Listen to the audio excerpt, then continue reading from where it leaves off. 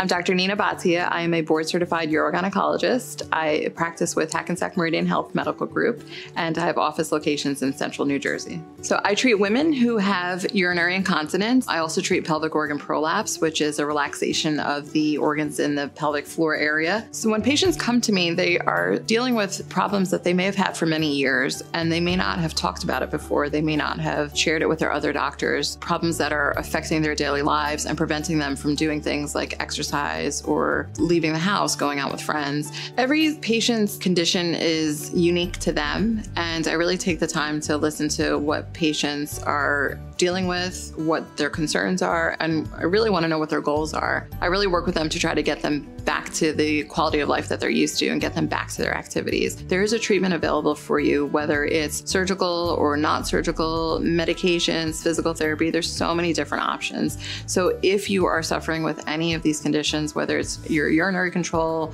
or the feeling of pelvic organ prolapse, you're not alone. It's very common. You don't have to live with it. And there's treatments, if not cures, available. So I would encourage any woman who is having trouble with these conditions to come in and, and find out what the available options are.